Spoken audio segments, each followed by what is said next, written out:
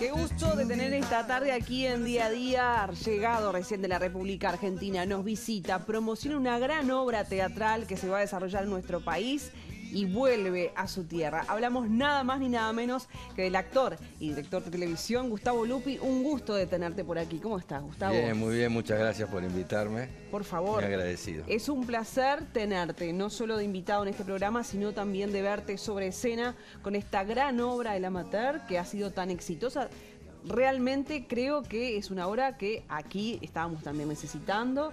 Así que contanos, por favor, va a ser en la sala Campodónico, en el Galpón. ¿De qué va a ir esta obra? ¿Qué le presentamos a la gente?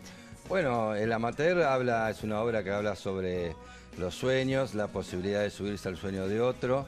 Eh, Lopecito y el pájaro, dos este, outsiders, ¿no? El, Lopecito, el personaje que hago yo, es un ex bailarín de tango eh, Chupandín, que se gana la vida haciendo repartos en bicicleta, lo conoce al pájaro, que es un personaje que tiene el berretín de, batir el récord de permanencia en bicicleta y juntos empiezan a pergeñar el sueño y el pájaro le enseña que, la posibilidad de, cumplir un sueño contra todo pronóstico existe y vale la pena y que vale la pena luchar y el pájaro se sube a ese sueño y juntos llevan adelante esta idea.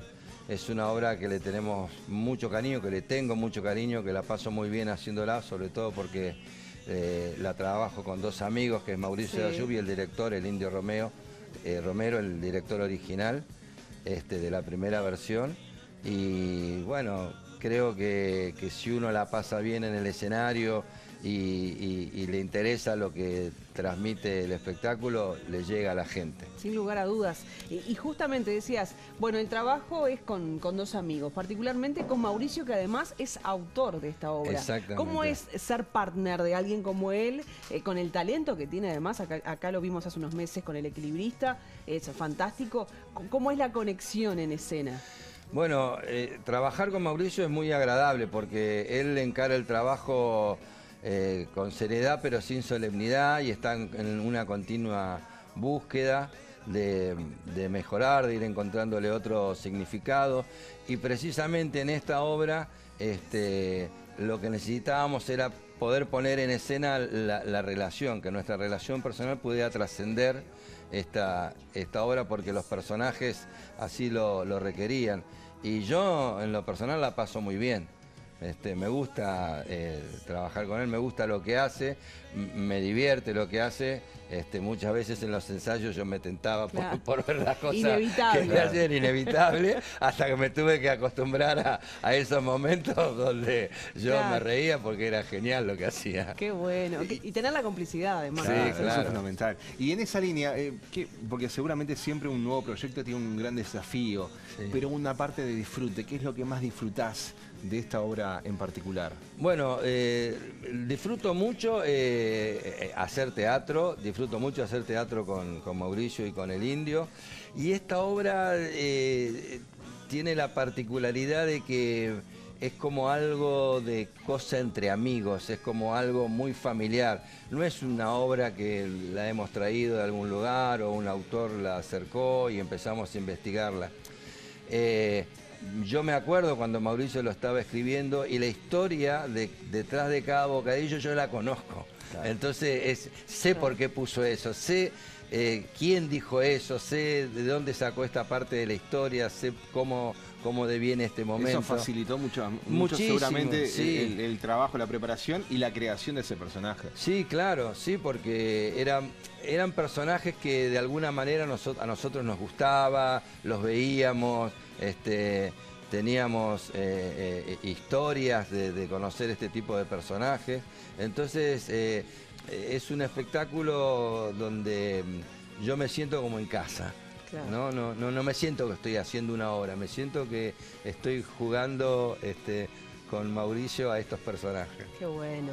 Bueno, trabajaste muchos años en televisión con grandes éxitos en la República Argentina. trabajar en teatro es otra cosa, sin lugar a dudas. Totalmente. De tu experiencia, ¿encontrás algún nexo entre una cosa u otra? ¿Disfrutás más de lo uno de lo otro, el contacto con el público, la lejanía de una cámara? No, lo que pasa es que son dos soportes distintos, como se dice ahora, ¿no? Entonces, el teatro tiene la inmediatez, la, la, energía de estar ahí en el escenario, de sentir a la gente, de sentir a tu compañero. Y la tele o lo audiovisual tiene la posibilidad de, crear, de, cortar, de usar otro tipo de trucos, de, este, recrear las escenas este, de distintas maneras, de distintas maneras de, contarla, de dónde pones la cámara, de qué es lo que querés resaltar. También es un juego que te metes ahí, te pones a jugar con los fierros y te olvidas.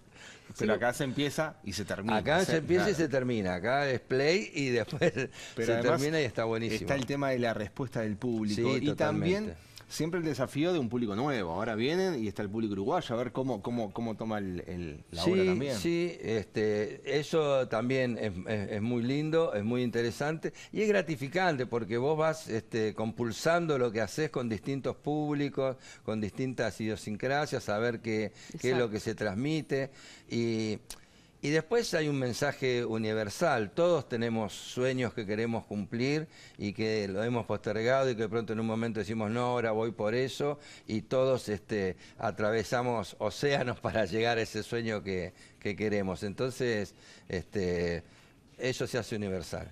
Y justamente, em, hablando de eso, ¿es tu primera vez de teatro acá en Uruguay? Sí, sí, la primera vez que... Ah, las expectativas se sí, redoblan. estoy, fascinado, sí, estoy con muchas ganas. Estoy con muchas ganas de venir. Muchas veces cuando hablamos con artistas que llegan de otros países, bueno, de Argentina, la cercanía no, nos lleva a que estemos de visita más seguido, pero em, es bien distinto el público argentino del público uruguayo. Sí, eso me han dicho. No sé si te han contado. Sí, me han contado y yo tuve la oportunidad en, otras épocas de trabajar con un director que trabajó mucho acá, Omar Grasso, ya desaparecido, y este y él me contaba y me hablaba de las experiencias, de, cómo se vivía acá el teatro, y hay una tradición teatral también este, rioplatense y uruguaya distinta.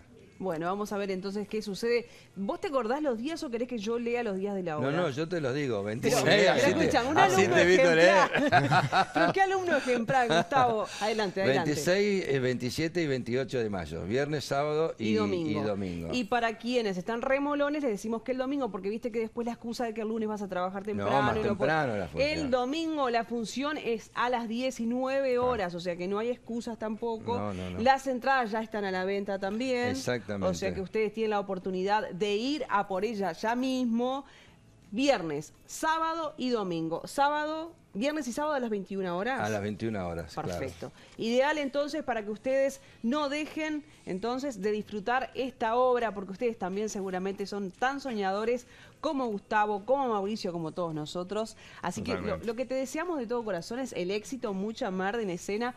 Yo creo que la van a tener, de todos modos. con, el talento. Ya está bueno venir acá, ya está bueno venir a Montevideo a hacer el espectáculo, eso ya para mí está buenísimo. Quizás esta primera vez y después. Y después vendrán, más. Claro que sí, será un gusto volver a recibirte y que tengas tiempo de pasear, Gustavo, porque no pudiste hacer nada hoy. No, hoy no, pero he paseado también, ¿eh? No, no, no ha venido de visita, pero no trabajando. Sí, sí, he venido de visita en otros momentos, he venido a vacacionar a Uruguay. Ah, bueno, muy bien, que, ¿estuviste en el este? Eh, no, me gusta La Paloma y La Pedrera, son dos lugares que me gustan mucho. Ah, qué este, lindo, muy tranquilo. Los lugares más tranquilos, sí, sí, sí, muy lindos lugares. A comer un asadito. Eso, sí, un pescadito. Un pescadito, claro, la costa de Rocha, que otra cosa puedes hacer. Pero hoy tenemos un guisito, un pan casero, sí, lo, estoy, lo, estoy percibiendo. Jesús, te están llamando por teléfono el señor Lupi, porque dice que un pancito mojado en las lentejas, ¿verdad, Gustavo? Eh, vale la pena. Claro, porque eh. se va de viaje. A nadie se le niega un pan. Exacto. Se va de viaje, no tiene tiempo de ir a cenar hoy porque tiene otros compromisos en la República Argentina. Vos quédate tranquilo que nosotros acá te mimamos. te vas muchísimas gracias. Gustavo, bueno, un placer. Que sea exitoso entonces esta segunda vuelta de la Mater, seguramente lo sea. Bienvenido a día a día cuando gustes. Ojalá que sean con nuevas obras, con nuevos proyectos. Así que ha sido un placer recibirte. Muchísimas gracias, son muy amables los dos. Por favor, gracias a ti.